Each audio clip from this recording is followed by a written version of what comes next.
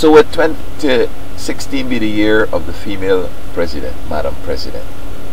I think um, Mrs. Uh, Clinton and Mrs. Obama would be um, equally, I think, uh, qualified to be president.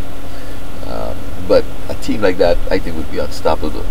Uh, whoever wants wins whatever could um, decide that well you know what um, I'm going to be president and choose the other one as vice president I mean we had uh, President Obama and uh, Mrs.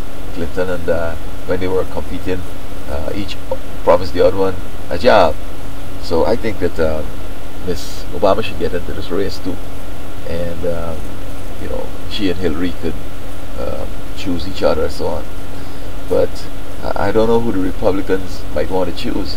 Um, I I don't know many Republican women of uh, equal stature or that are well known as uh, these two um, Democrats. Now, I know that uh, in 08 and 12, the Republicans did not run a black candidate, and um, I, I, guess you know President Obama still won. Um, I don't know if they want to run a female for president and vice president so that we can have a real women's toss-up and guarantee Madam President. I think that uh, it will make a big difference because um, although Obama is there, he hasn't been able to do what he would have liked to do. Uh, if you assume that some things that he might have wanted to do.